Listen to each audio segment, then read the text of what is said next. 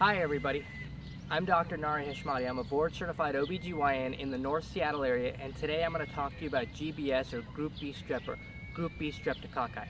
Now with all our videos we like to have some nice scenery. It is actually a really really warm day right now.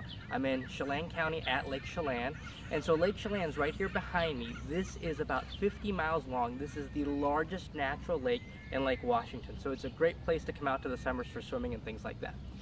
Now GBS, Group B strep. This is a test that we're going to do later in pregnancy for people, and I often get a lot of questions about it. What is GBS? Why do we test? When do we test? What do we do if we're positive? What does it mean? Well, Group B strep and how it got its name is, imagine with bacteria, it's how we can find them.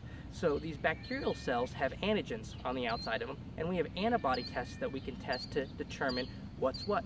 Some of them will bind to group A or group B or group C. So there's a group A all the way to group O. Group A, for instance, is strep throat or pharyngitis. Group B strep, the ones we're concerned about, that's a very common colonizer on the body. So what that means is in many people, it just happens to be on the body. For instance, in pregnant women, about 25% of pregnant women are gonna be colonized with group B strep. So very, very common thing. The reason that it matters though is while typically this bacteria doesn't cause us a whole lot of problems, in labor or if your water breaks, if you're colonized with GBS, you can get what we call vertical transmission. The bacteria can get to the baby, and then the babies can get early neonatal GBS sepsis, which basically means in the first week of life, they can get a serious bloodborne infection. In the 1970s, this was serious enough that there was a 55% mortality or death rate among babies if the mom was colonized with group B strep. In the 1980s, they looked at this more and they said there's got to be something we can do, and they figured out that it was really effective to give moms antibiotics in labor if they were GBS positive, and we reduced the risk of neonatal GBS sepsis. In fact, for instance, if you're colonized with group B strep and we don't give you any antibiotics in labor, your risk of having a baby with GBS sepsis is 1 in 200. But if we give you antibiotics, we drop that risk to 1 in 4,000. So huge, huge, huge benefit there. Now, the CDC in 2010 came up with guidelines that standardized this entire process. The American Academy of Pediatrics and the American College of OBGYNs have both endorsed this policy that's become the national standard for what we do. And what we do is we test everyone at 35 to 37 weeks of pregnancy. The test we're doing is a swab of the vaginal area and the rectum. And the reason for that is GBS or group B strep colonizes typically in the GI tract and the GU tract or the vaginal area. Now the reason for the timing at 35 to 37 weeks, if we do it at that time point, that's very good predictive value that, GBS is either going to be on your skin or not be on your skin at the time of labor. So if we did it later, we might not have the results back before you go into labor. It takes 24 to 48 hours to get one of those cultures back. If we do it earlier, this is a transient bacteria. It can come and go. So it might be on your skin early in pregnancy, but not be on later when we're going to care about it.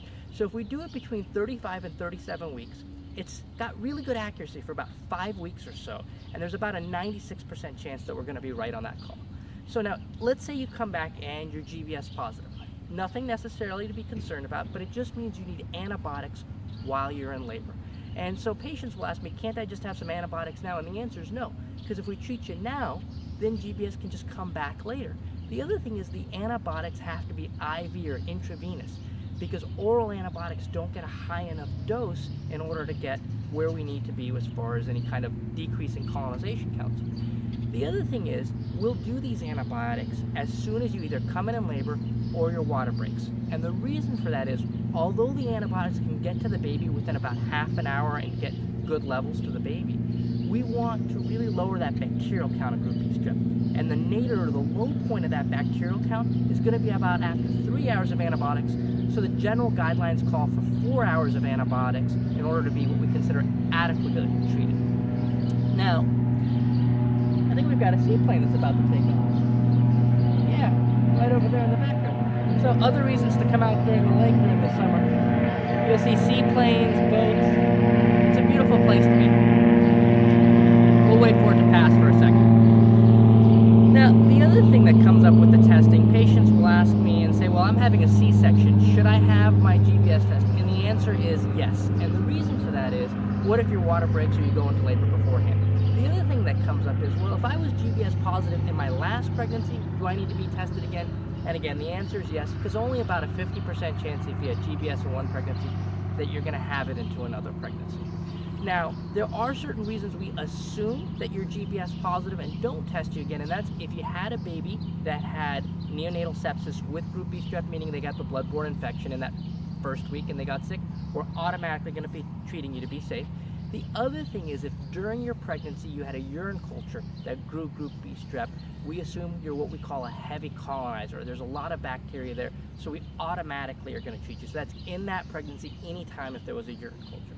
So those are going to be the when we test, why we test, what it's important. But this is really a great success story because this used to be a very large problem. And although Group B strep remains the number one cause of mortality in that early neonatal uh, period, meaning the number one cause of death from infections, um, we've made great advances. And so that's just a fantastic story. Now, I do also point out people come in when I give them the results, and if they're negative, they're excited, and they're like, yeah. If they're positive, they're kind of sad, and they go, well, why am I positive? Common skin colonizer. Again, 25% of all pregnant women, it's not an STD, it's not anything good, it's not anything bad. I had a grandma come in with one of my patients once, and when I said to the patient, you're GBS positive, the grandma looked at me and said, I told her I didn't like that boy. And I go, no, no, no, ma'am, this is not an STD, this is nothing bad. You know, we just need to know to have the information to give you the antibiotics when we're in labor.